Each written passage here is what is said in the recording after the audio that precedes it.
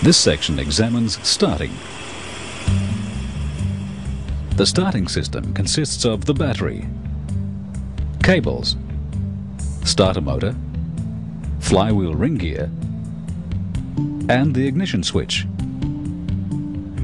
During starting, two actions occur.